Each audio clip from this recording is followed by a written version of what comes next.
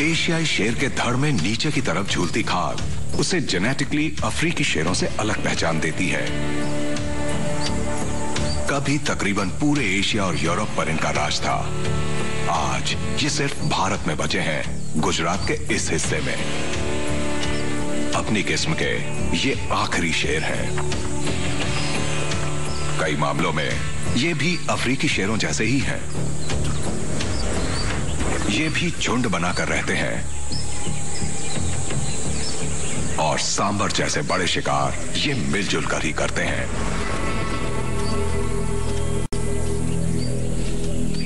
सांबर का वज़न साढ़े चार सौ किलो तक हो सकता है।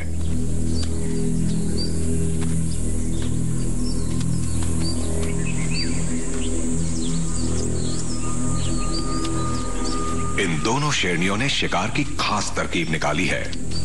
एक शिकार को पकड़ेगी। वो शिकार के ज़्यादा से ज़्यादा नज़दीक रहते हुए मौके का इंतज़ार करेगी।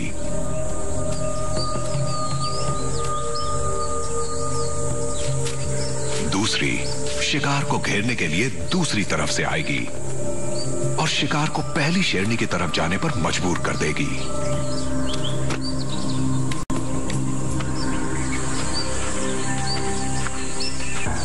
तरकीब अच्छी है। पर इसकी कोई गारंटी नहीं कि वो कामयाब रहेंगी।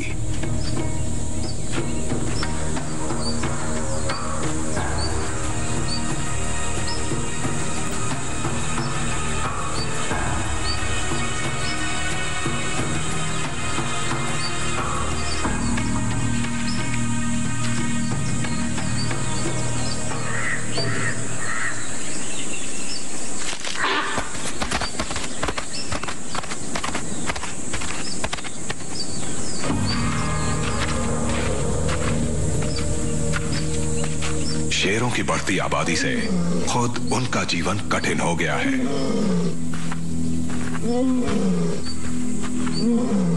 हर शेर को अपना इलाका चाहिए। इसलिए इनके आपसी झगड़े बढ़ते जा रहे हैं।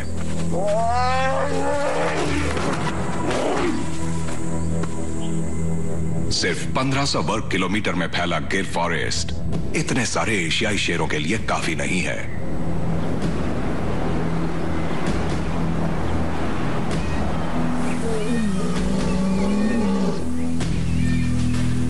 दबंग शेर बाकी शेरों को जंगल के बाहर खदेड़ देते हैं। वहाँ, जहाँ उनका पाला इंसान से पड़ता है। इन चारों शेर बच्चों का बाप अपना इलाका बचाते हुए मारा जा चुका है। ये भी मारे जाते, अगर वहाँ से जान बचा कर ना भागते।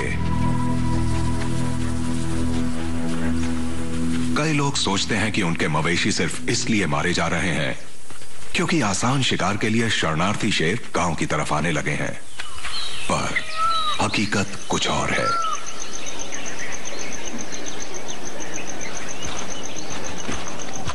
सूरज डूबा तो ये नौजवान शेर जंगल की हद लांगने निकल पड़े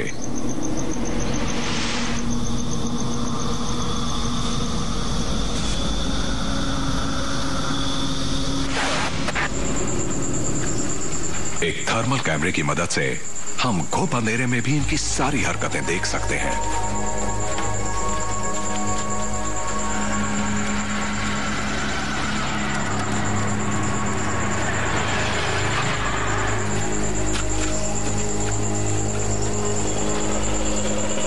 जंगल की हद है ये सड़क, जिसे ये बेहिचक पार कर जाते हैं।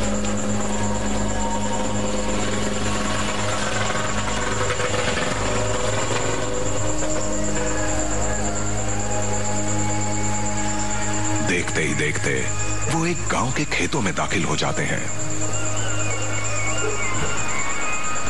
शेरों के गुप्त संसार की ये एक अनूठी झलक है।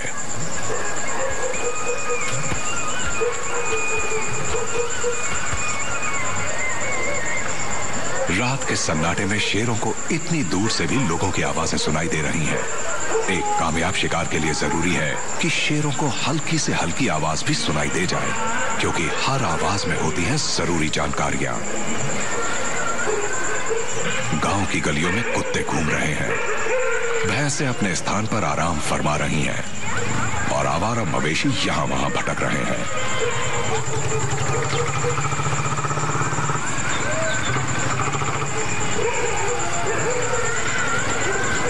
जब तक कुत्ते जाग रहे हैं, शेरों की भलाई गाँव से दूर रहने में ही है। लिहाजा शेर यहाँ से आगे बढ़ जाते हैं।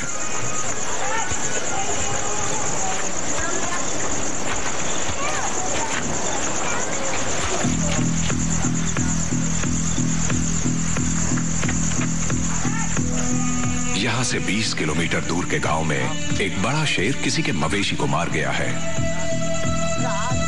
कौन जाने वो इसे खाने लौटेगा कि नहीं?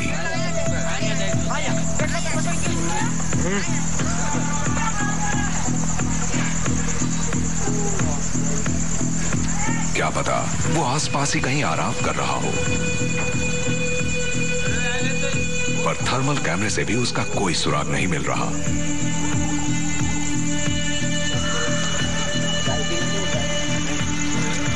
लेकिन इस बात से ये गाँव वाले जरा भी परेशान नहीं लग रहे।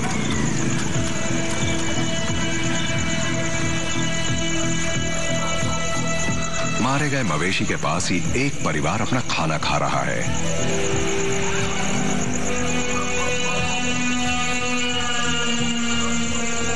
बहरहाल, खेतों के उस तरफ़ से एक बड़ा सा शेर गाँव की तरफ़ ही आ रहा है।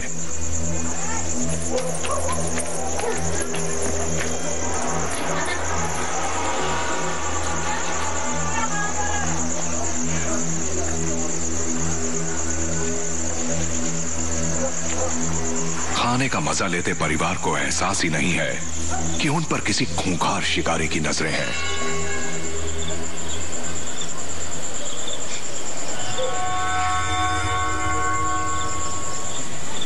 ग्यारह बजे तक गाँव की सारी बत्तियाँ बुझ जाती हैं।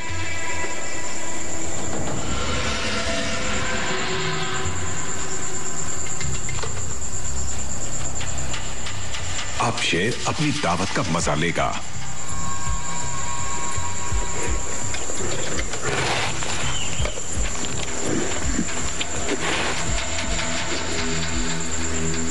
मालिक बाहर आता है तो जंगल के राजा को अपने आँगन में मौजूद पाता है।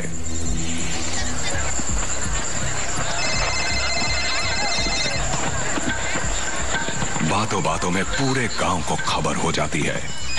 शेर को देखने पूरा गाँव भागा आता है। पर बिना किसी हिफाजत के शेर के सामने जाना तो निरा पागलपन ही होगा। दक्षिणी गुजरात के एक गाँव में बड़ा सा शेर आया। तो गाँव वाले भी बिना कोई हथियार लिए उसे देखने पहुँच गए।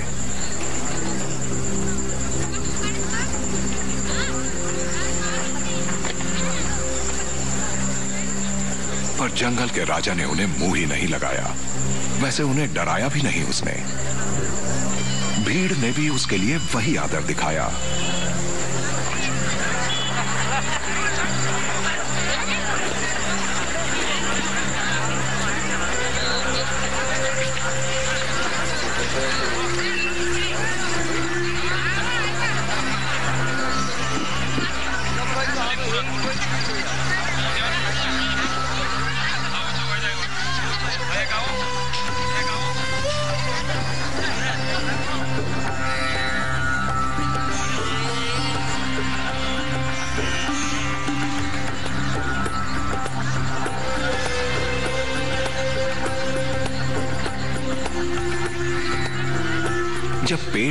खाकर शेर जाने लगा तो बहादुर गाँव वाले उसकी एक आखिरी झलक पाने को पीछे पीछे हो लिए।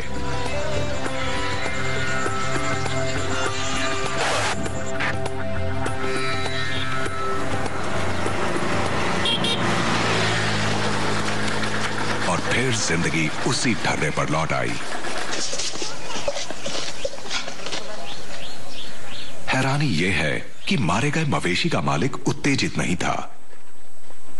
मेरी बेटी यहाँ सो रही थी और मेरी माँ और पिताजी यहाँ सो रहे थे। और मैं यहाँ सो रहा था ज़मीन पर यहाँ पर। इस आदमी ने शेर को बैल मारते हुए देखा था। बैल वहाँ गौशाला में बंधा था। वो बहुत डर गया था और इधर उधर भाग रहा था। वो रस्सी तोड़कर भाग जाना चाहता था। तभी शेर ने उस पर हमला किया और उसे मार डाला।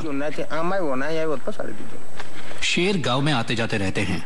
गाँव के बड़े लोग उनसे नहीं डरते हैं लेकिन हमें सावधान रहना पड़ता है क्योंकि यहाँ मवेशी और हमारे बच्चे भी रहते हैं और उनकी सुरक्षा ज़रूरी है। तो गाँव के लोग बहुत खुश थे। वो गाँव में आए शेर को देखकर वाकई बहुत खुश थे। वजह ये थी कि उन्हें शेर को देखने के लिए कहीं और नहीं जाना पड़ा था। आराम से घर में बैठे बैठे ही उसे देख सकते थे। तो घर बैठा है वो तो। गुजरात के ये लोग भी कमाल के बहादुर हैं, जो शेर जैसा पड़ोसी पाकर खुश हैं। कोई और देश होता तो अपने मवेशियों के शिकारी को लोग कब का मार गिराते। फिर ये लोग इतनी सहजता से यूँ बेपरवाह क्यों बैठे हैं?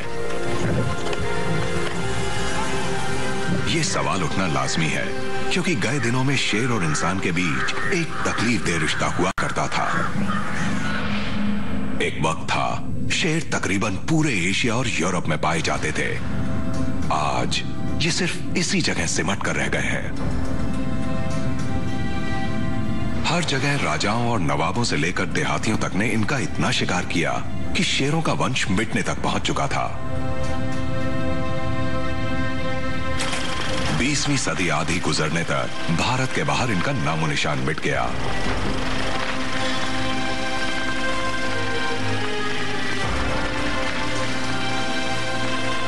भारत में भी ये सिर्फ़ 20 के करीब ही बचे थे। लेकिन फिर जूनागढ़ के नवाब ने शेरों के शिकार पर रोक लगाकर इन्हें खत्म होने से बचा लिया।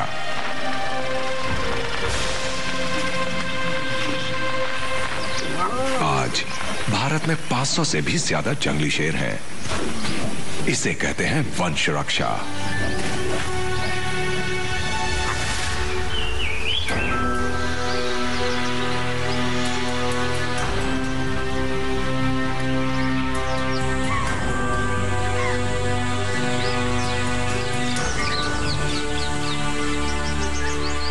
सुरक्षा गिर फॉरेस्ट में ज़िंदगी की अच्छी चहल पहल है। शेरों के लिए यहाँ भरपूर शिकार है।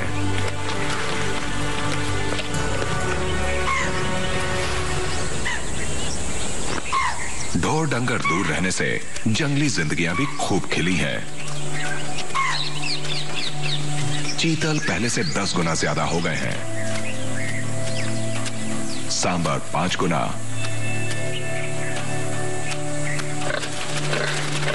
जंगली शूकर और भारत की सबसे बड़ी एंटीलोप, नील गाय, तीन गुना।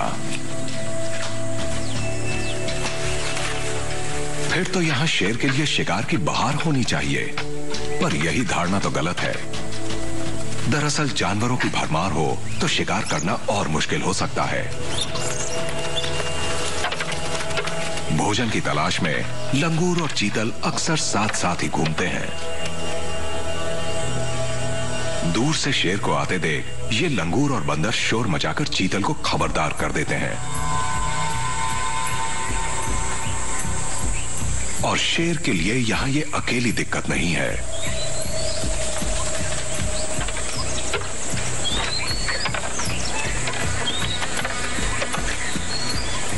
घने जंगल में शेर के लिए दूर तक देखना मुश्किल होता है, पर सुनना आसान।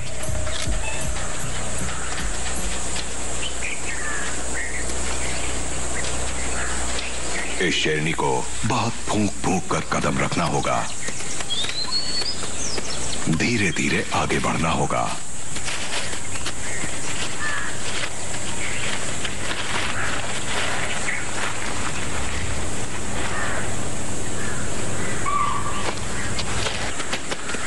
ये बहुत सब्र से दबे पाँव शिकार के एकदम करीब पहुंचेगी। तभी एक झपट्टे में उसका काम तमाम कर पाएगी।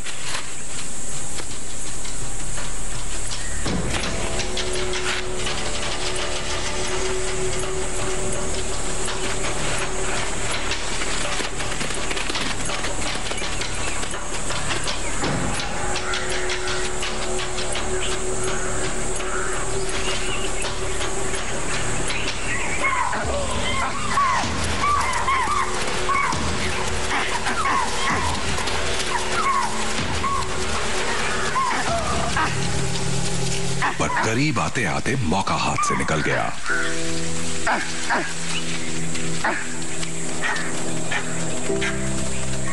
गिर फॉरेस्ट में शेरों की सबसे बड़ी दिक्कत है ये सूखे हुए पत्ते, जो पूरे जंगल में बिछे रहते हैं और खरखरा कर शिकार करना दूभर कर देते हैं। यहाँ साल भर में सिर्फ़ 600 मिलीमीटर बारिश होती है और 12 में से 9 महीने जंगल सूखा पड़ा रहता है।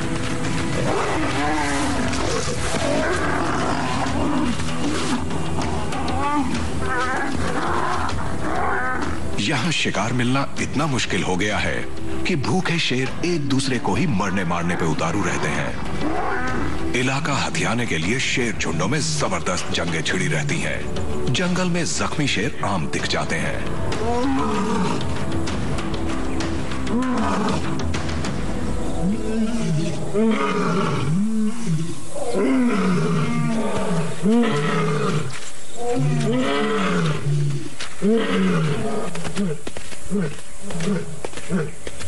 तेंदुए भी इसका शिकार बनते हैं। मुकाबले में कोई भी हो, शेर उसे बर्दाश्त नहीं करता।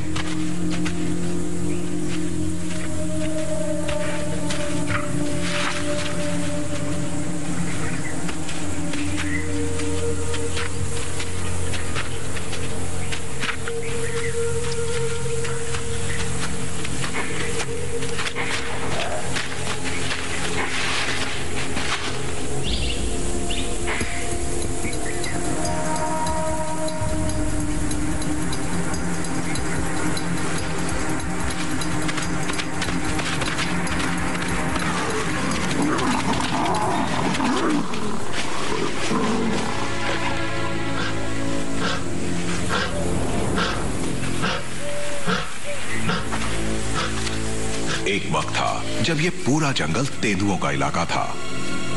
पर आज उन्हें यहाँ से खदेड़ दिया जाता है। एशियाई शेर गिर के जंगल से बाहर आ रहे हैं तो सिर्फ़ इसलिए नहीं, क्योंकि यह जंगल इतने सारे शेरों के लिए छोटा पड़ रहा है। अभी बहुत दिन नहीं हुए, जब मालधारी लोग यहाँ अपने मवेशी चराने आया करते थे। शेर मवेशियों को भी वैसे ही मार खाते थे, जैसे जंगली जानवरों को। उनके शिकार ज़्यादातर बूढ़े और बीमार पशु होते थे। गुजरी सदी में शेरों की ज़िंदगी ज़्यादातर इन मवेशियों के भरोसे ही कट रही थी।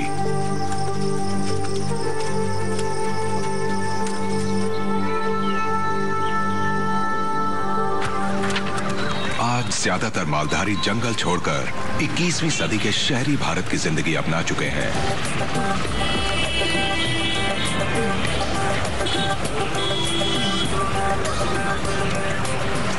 पर मालधारी लोगों का मानना है कि उनके पीछे पीछे शेर भी जंगल से बाहर चले आए हैं। पिछले कुछ अरसे में शेरों की तादाद संरक्षित जंगल से ज़्यादा जंगल के बाहर बढ़ी है।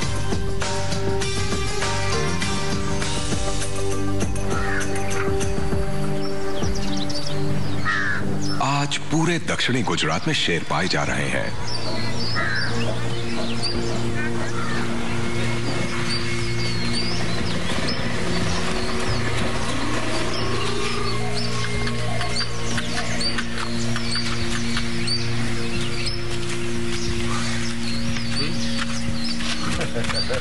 यहाँ शेर और आदमी के बीच बड़ा अनूठा सा रिश्ता बन गया है।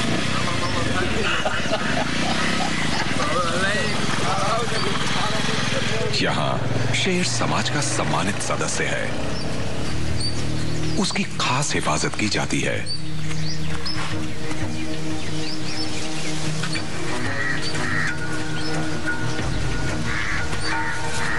फॉरेस्ट रेंजर्स ने दो श्रेणियों को लुभाकर खुले में लाने के लिए एक मरा हुआ मवेशी डाल रखा है।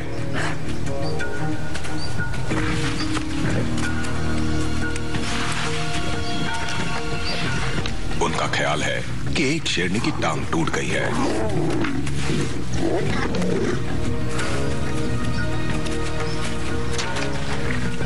गुजरात में बीमार शेरों पर बंदूक चलाई जाती है, पर उन्हें मारने के लिए नहीं, बल्कि उन्हें ट्रैंकुलाइजर डार्ट से बेहोश करने के लिए।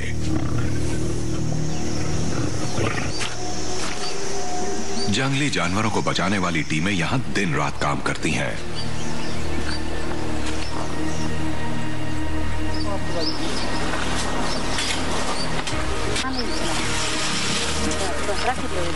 दुनिया में सिर्फ़ 500 एशियाई शेर हैं, इसलिए एक एक शेर अनमोल है।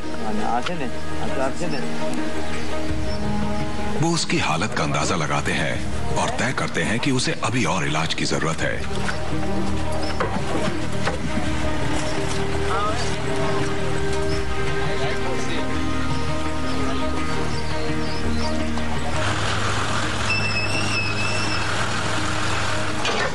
रेस्क्यू सेंटर में घायल शेरनी भी वहीं पहुँच जाती है, जहाँ दूसरे खूंखार जानवर अपना इलाज करवा रहे हैं।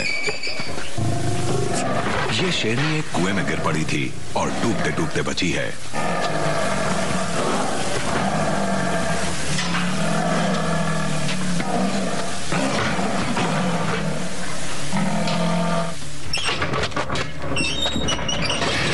यहाँ वो शेर शेरनियाँ भी हैं जो बीमार नहीं हैं, लेकिन जिन्हें पब्लिक की सुरक्षा के लिए यहाँ रखा गया है।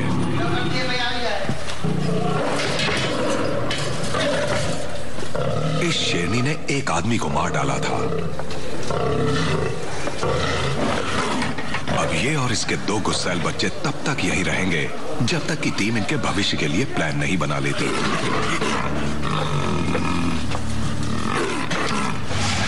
ये टीम सिर्फ़ शेरों को ही नहीं बचाती, बल्कि लोगों को भी ये सीखने में मदद करती है कि इन परभक्षियों के पड़ोस में सुरक्षित कैसे जिया जाए। यहाँ हर कहीं शेरों की निशानियाँ हैं।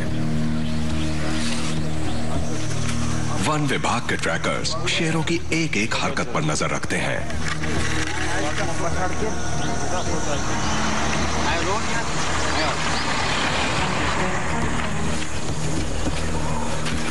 गुजराती में करना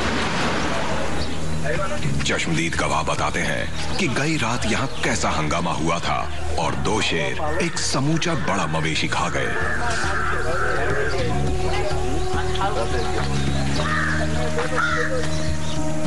गाँव के शेर दिल लोग शेरों से कुछ ही मीटर दूर खड़े तमाशा देखते रहे और शेर खा पी कर उजाला होने से पहले ही चुपचाप चले गए। यहाँ ना शेरों को मारा जाएगा, ना कोई बदला लिया जाएगा। पर वन विभाग के लिए यह जानना ज़रूरी है कि शेर कहाँ है और अब उनकी मंशा क्या है। शेर के पंजों के निशानों का पीछा करते करते ट्रैकर्स खेतों के पार एक झाड़ीदार जगह पर पहुँच जाते हैं। गाँव से बस एक किलोमीटर दूर इन झाड़ियों की छाया में उन्हें वो दोनों शेर आराम करते मिल जाते हैं।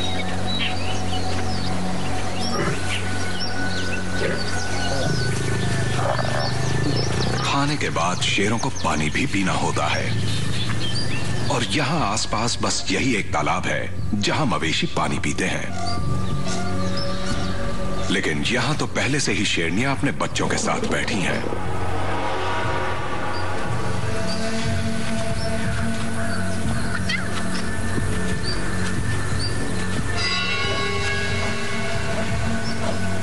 इन बच्चों की जान खतरे में हो सकती है।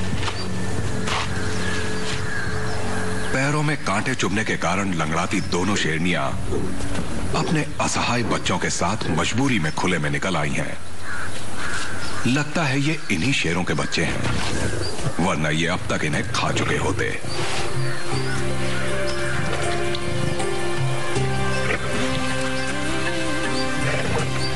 ये पानी अब सबका साझा है।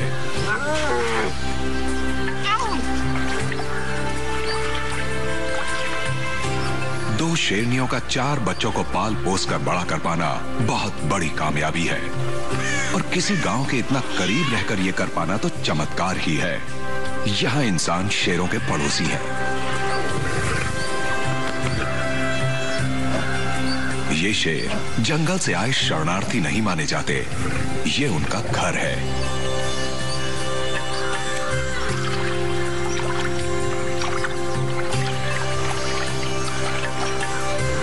पर यहाँ ये जिएँगे कैसे? वो भी इतने छोटे बच्चों के साथ। ज़्यादातर शेर, खासकर इंसान के पड़ोस में रहने वाले शेर, रात में ही चुस्त और व्यस्त रहते हैं। स्पेशल नाइट कैमरा, भारत के इन शेरों का अनोखा नज़ारा दिखाते हैं।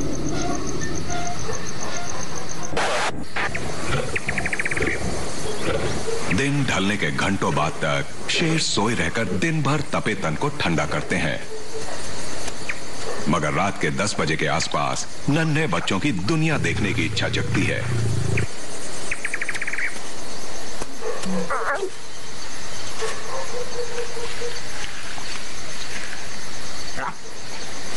अब माहौल ठंडा भी है और घूमने के लिए सुरक्षित भी।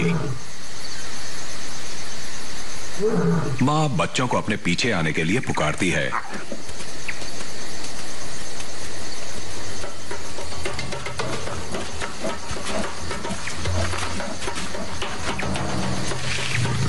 और सब मेन रोड की तरफ़ चल पड़ते हैं।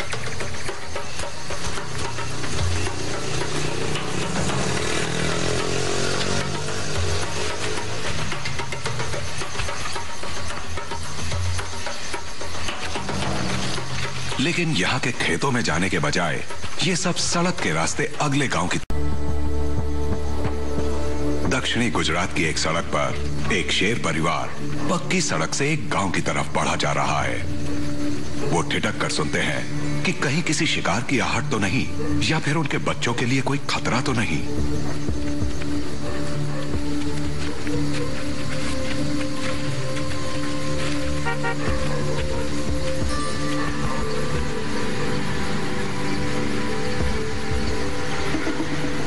गाड़ी की आवाज़ सुनते ही शेर सड़क के किनारे उगी झाड़ियों में गुम हो जाते हैं।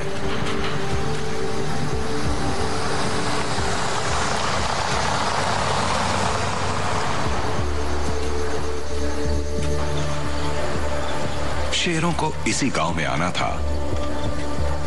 लेकिन शेर के नन्हे बच्चों के लिए यह जगह ठीक नहीं है। यहाँ मवेशियों की बेशक भरमार है, मगर शेर के बच्चे कुत्तों का शिकार बन सकते हैं। कुत्ते शेरों को देखते ही भौंक भौंक कर पूरे गाँव को खबरदार कर सकते हैं। फ़िलहाल मवेशी सुरक्षित हैं।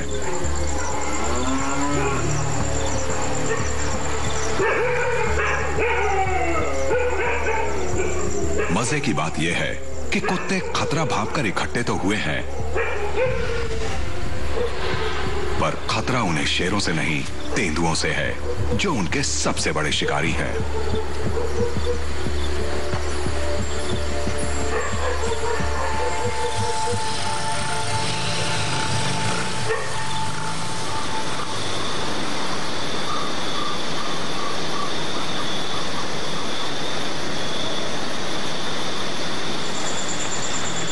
गाँव के बाहर चिंकारे कुत्तों से बेखौफ खेत चढ़ते हैं। जंगली शुक्रों के झुंड अभी अभी बोई खेत उजाड़ खाते हैं।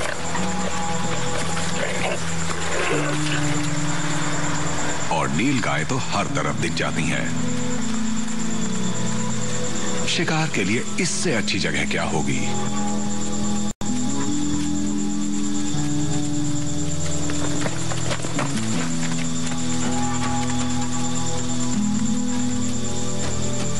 शेरों के नन्हे बच्चे यहाँ भी बड़ी आसानी से किसी का शिकार बन सकते हैं।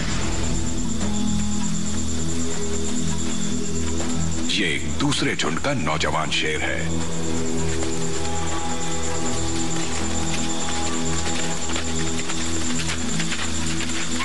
पर चांदनी रात में नील गाय उसे दूर से ही देख लेती हैं और एक सुरक्षित दूरी बनाए रखती हैं।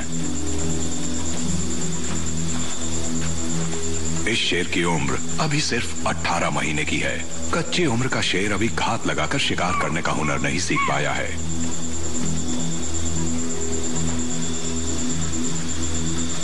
शिकार ना मिला तो वो मायूस होकर चला गया।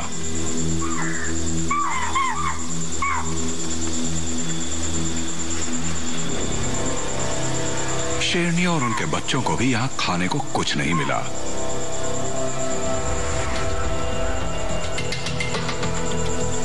कई भूखे परभक्षी और मुर्दाखोर भी यहाँ भटक रहे हैं। ऐसा धारीदार लकड़बग्घा बहुत कम देखने में आता है।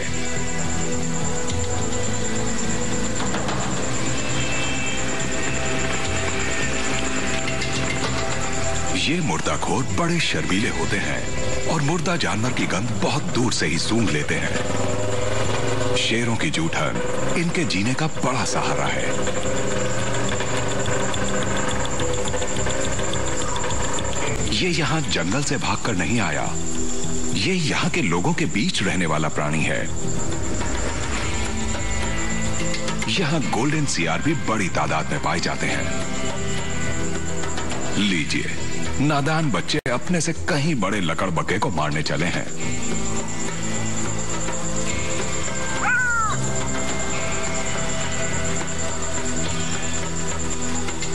दिन में सियार कहीं दुम दबाए दुबके रहते हैं।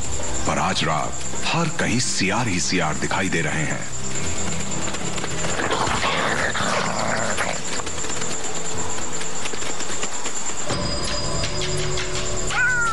आखिरकार लकड़ बग्घे को एक मरा हुआ जानवर मिल ही गया, पर इसे पता है कि मुसीबत भी बस आती ही होगी। शेर की खुराक का एक तिहाई हिस्सा भी मुर्दा जानवर ही होते हैं। लकड़ बग्घे की भलाई इसी में है कि अपना भोजन कहीं और ले जाकर खाए।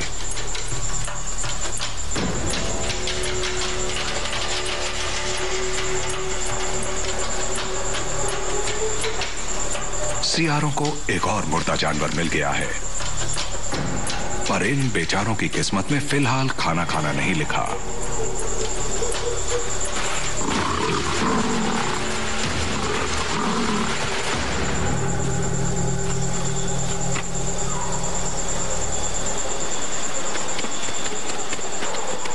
जाने कहाँ से ये शेरनी आधम की और उनका खाना खुद हड़प कर खाने लग गई। पर एक बार में 20 किलो तक ही तो खाएगी। सियारों और लकड़बग्घों के लिए उसके बाद भी बहुत कुछ बच जाएगा।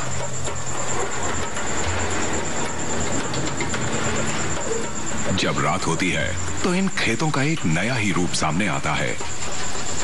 लगता है जैसे ये एक भारतीय सेरेंगेटी हो, जो सिर्फ़ रात के वक्त ही दिखाई देती है।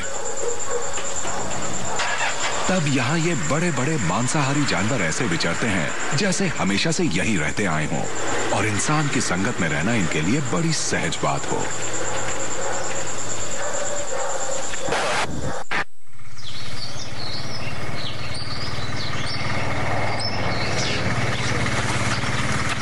ये बात कितनी भी अजीब क्यों ना लगे, पर फ़िलहाल ये शेरों का ही देश है।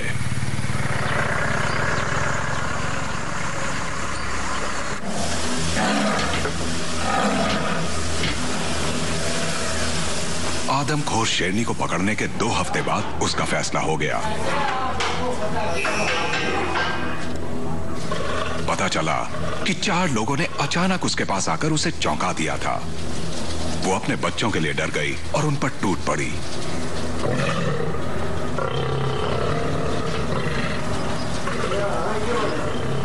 उसने एक आदमी को मार डाला, पर उसे खाया नहीं।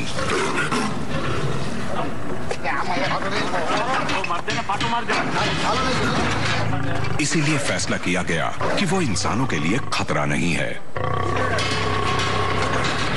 उसे आज़ाद किया जा सकता था, पर किसी और इलाके में जहाँ आबादी कम हो यह हादसा किसी और देश में हुआ होता तो इस शेरनी को कब का मार दिया गया होता।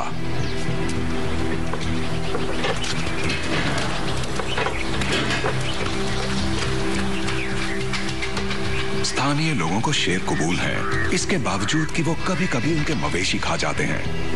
यहाँ तक कि अगर कभी वो किसी इंसान को भी मार डाले तो यहाँ उन्हें सजाए मौत नहीं दी जाती।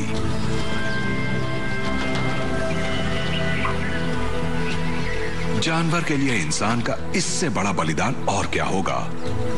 ये इन्हीं लोगों का हौसला और इंसानियत है, जो शेरों के पड़ोस में उनसे मिलजुल कर रह रहे हैं।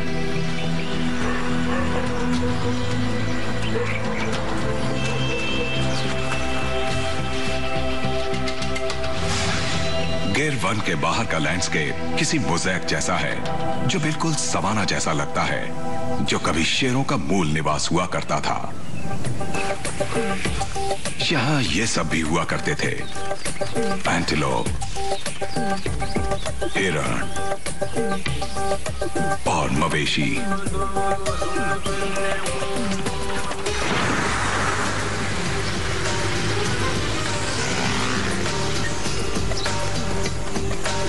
दोपहर बाद ये शाकाहारी जानवर भी अपने छिपने के ठिकानों से बाहर निकलते हैं और चल पड़ते हैं रात में उजाड़ी गई फ़सलों को खाने के लिए।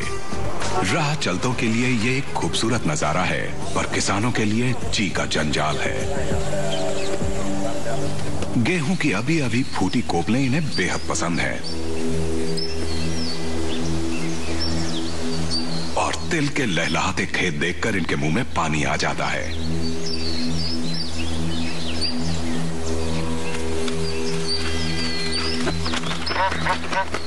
पहले ये शाकाहारी जानवर यहाँ बेखौफ चरा करते थे, पर अब शेर भी यहाँ पहुँच गए हैं। वन विभाग के ट्रैकर्स खेतों और गाँवों से गुजरे शेरों के एक बड़े झुंड के पंजों के निशानों के सहारे उनका पीछा कर रहे हैं। निशान एक टीले पर जाकर खत्म होते हैं, जहाँ शेर दोपहर की झपकी लेने के बाद जागने लगे हैं। डूबते सूरज की रोशनी में ये रात के शिकार की योजना बना रहे हैं। ये आसपास के खेतों और गाँव पर नज़र दौड़ाकर अंदाज़ा लगा रहे हैं कि आज इन्हें कहाँ शिकार मिल सकता है।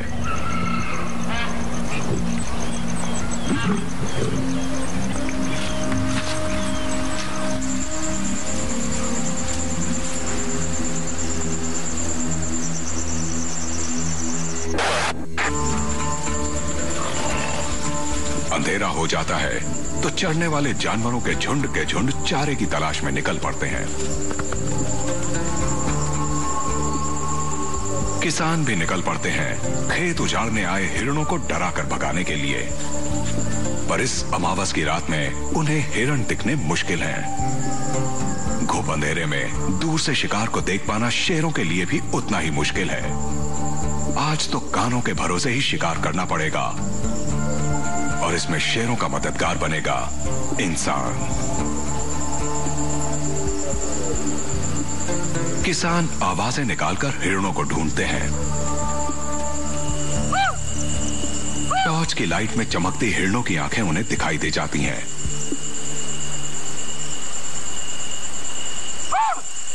अब किसान को बस इतना करना है कि हिरण को अपने खेत से बाहर खदेड़ देना है, जो अक्सर पड़ोस के खेत में जाकर चढ़ने लगते हैं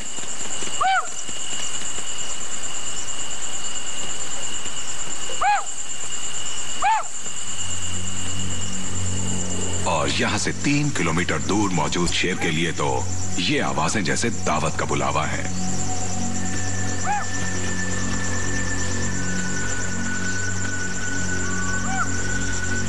वो सब वहीं चल पड़ते हैं, जहाँ से किसानों की आवाज़ें आ रही हैं। चार शेरनियाँ और उनके आठ बच्चे। शेर इन खेतों के चप्पे चप्पे को पहचानते हैं। इन किसानों की आवाजों से उन्हें अपने मतलब की पूरी जानकारी मिल चुकी है। वो सधे कदमों से दबे पाँव शिकार की तरफ़ चल पड़ते हैं। यहाँ सूखे पत्ते भी नहीं है जो खरखरा कर हिरणों को सावधान कर दें। हिरणों को शेर की गंध मिल चुकी है। पर तारों की रोशनी में उन्हें इतना नहीं दिख पा रहा है। कि वो सही दिशा में भागकर जान बचा सके। यहाँ शेर हिरणों को ऐसे घेर रहे हैं, जैसे कभी खुले घास मैदानों में घेरा करते थे। आज शेरनियाँ शिकार पकड़ेंगी और उनके बच्चे शिकार को दौड़ा दौड़ाकर उनकी तरफ़ हाँकने का काम करेंगे।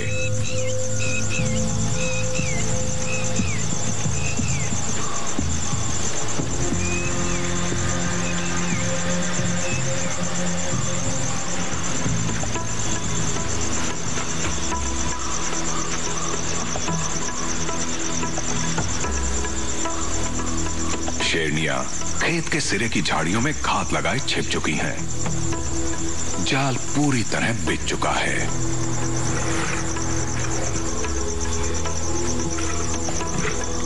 नन्हे बच्चों को छिप कर शिकार करना अभी नहीं आया है। इसलिए वो खुल्लम खुल्ला हिरणों की तरफ़ बढ़ने लगते हैं। वो बड़ी बेपरवाही से उन्हें छुपी हुई शेरनियों की तरफ़ हाँक रहे हैं।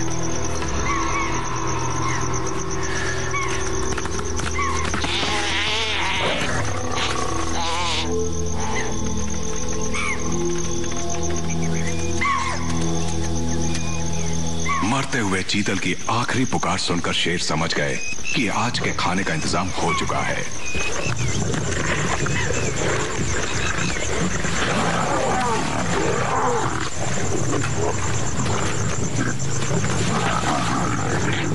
सबसे पहले सबसे ताकतवर शेरनियों के बच्चों को खाना खाने का मौका मिलता है।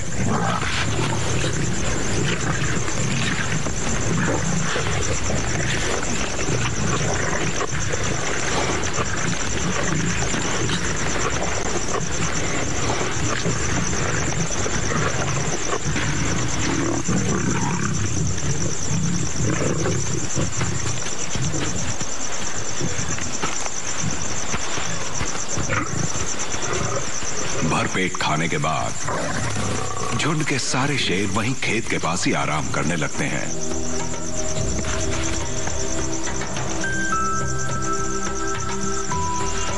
दृश्य कभी कभार ही देखने को मिलता है। और ये नतीजा है कई दशकों के संरक्षण का।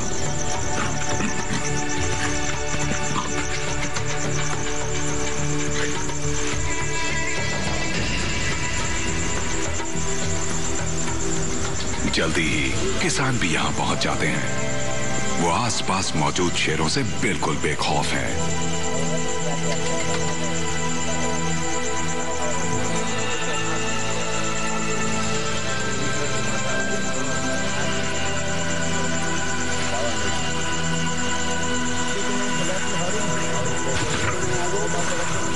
खुश हैं कि शेरों की बदौलत इन्हें फ़सल उजाड़ने वाले हिरणों से मुक्ति मिल गई है।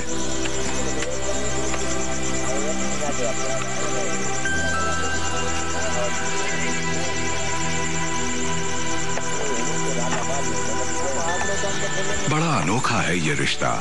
गुजरात से जीवन दान पाए ये शेर, जिन खुले मैदानों में सबसे पहले जन्मे थे, वही का शिकार का तरीका वो यहाँ भी आजमा रहे हैं।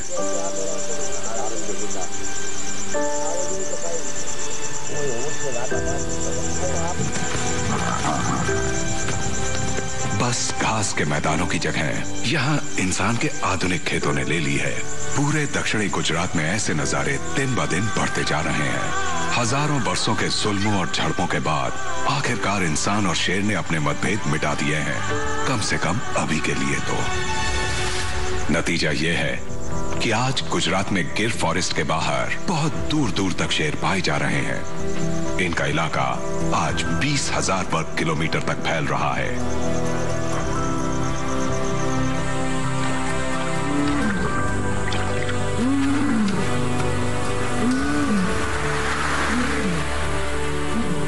शेर जो कभी गिनती के सिर्फ़ बीस ही रह गए थे और विलुप्त होने की कगार पर पहुँच गए थे, आज उनके पंजों के निशान हर कहीं देखे जा सकते हैं। एशियाई शेर की गुजरात में शानदार वापसी हो चुकी है।